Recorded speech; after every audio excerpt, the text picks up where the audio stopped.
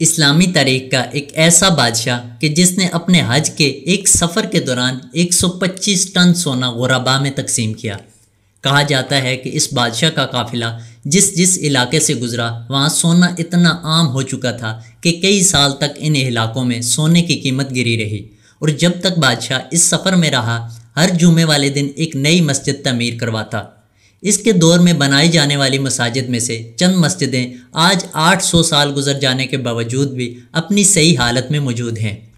बादशाह के काफिले के हमरा साठ हज़ार फौजी और बारह हज़ार गुलाम थे। इन टोटल बहत्तर हज़ार अफराद ने चार चार पौंड सोना अपने साथ उठा रखा था। इसके अलावा इस काफिले में अस्सी ऊँट ऐसे भी मौजूद थे कि जिन पर सिर्फ़ सोना लदा हुआ था।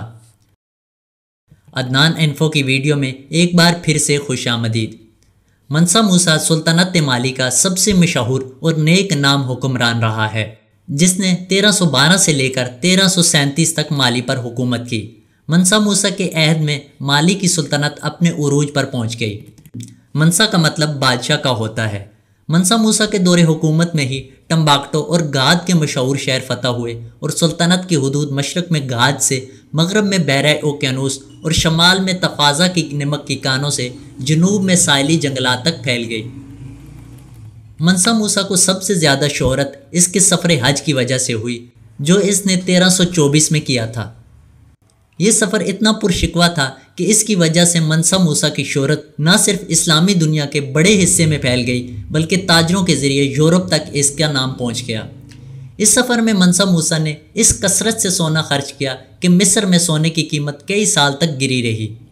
इस ज़माने में गालबन मगरबी अफ्रीका के उस इलाके में सोना बहुत ज़्यादा पाया जाता था, जहाँ मनसा मूसा ने हुकूमत की थी।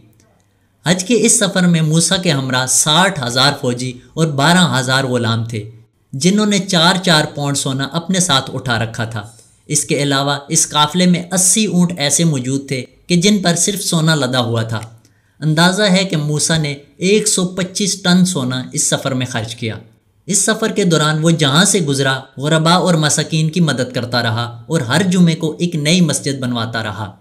मनसा मूसा मक्का मुआजमा में एक उंदलसी मम्मर अबू इसखाक इब्राहिम अल साहिली को अपने साथ लाया। जिसने बादशाह के हुक्म से गाद और टम्बाकटों में पुख्ता ईंटों की दो मसाजिद और टम्बाकटों में एक महल तमीर किया। माली के इलाके में इस वक्त पुख्ता ईंटों का रवाज नहीं था। मनसा मूसा के ज़माने में माली के पहली मरतबा बरूनी ममालिक से ताल्लुक कायम हुए। चुनाचे मराकश के मरीनी सुल्तान अबुल हसन के मनसा मूसा से अच्छे ताल्लुक कायम हो गए। मनसा मूसा दरवेश सख्त और नेक हुक्मरान था। इसके अदल इंसाफ के मुतहदा किस्से तारीख में दर्ज हैं। मनसा मूसा के बाद माली की सुल्तनत का जवाल शुरू हो गया। एक एक करके तमाम इलाके हाथ से निकल गए और अठारह सौ चौवन में शहर गाद के सुंगाई हुक्मरान ने माली की सुल्तनत का खात्मा कर दिया। वीडियो पसंद आने की सूरत में हमारे यूट्यूब चैनल को सब्सक्राइब करके साथ मौजूद बेल आइकन को भी प्रेस कर दें, ताकि हमारी हर नए आने वाली मालूमती वीडियो का नोटिफिकेशन आपको मिल सके। शुक्रिया असलकम अल्लाह हाफिज़।